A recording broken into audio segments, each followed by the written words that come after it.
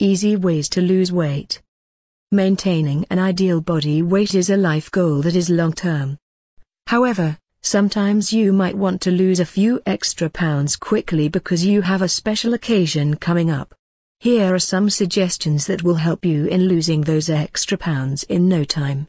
If you have a weight loss goal to reach, it is important that you find out what your motivation is. The more motivated you are, the better chance you have in succeeding. For instance, Perhaps you have purchased a lovely dress that is just a little tight right now. Picturing yourself in that dress may give you the motivation that you need to stick to your diet plan. You have to set goals that are specific as well as realistic. If they are specific, you will know exactly what you have to accomplish. If they are realistic, you will know that you can reach them.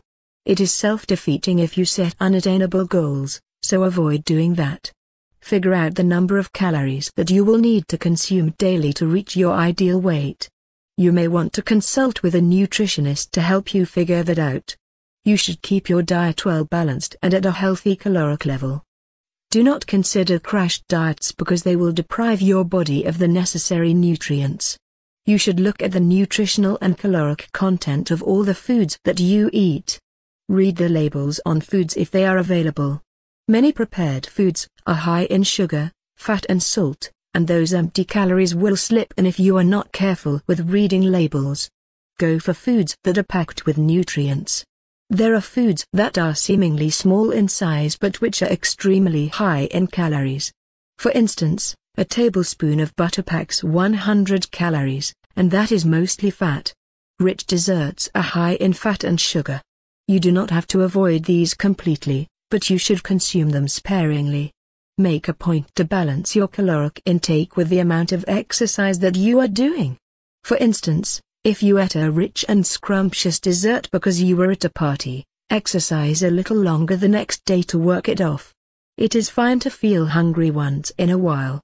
This does not mean that you should starve yourself. It only means that you do not have to grab something to eat every time you feel a bit hungry. Try to wait for your next meal, and distract yourself by doing a fun activity. Water is an important beverage in any diet. When you drink water right before a meal, it will make you a little more full, and you will end up eating a smaller meal. This is an easy way to reduce your calories every meal.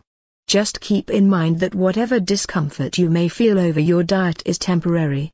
Your body needs to adjust itself to a new level of activity and a new diet routine. So, give yourself time to get accustomed to it, and do not feel discouraged. Remember to treat yourself to something that you like every time you reach a milestone toward your goal. This will motivate you to keep going until you have reached your ultimate goal. Maintaining a healthy weight is a lifelong activity, but it is fine if you want to lose a few extra pounds quickly sometimes.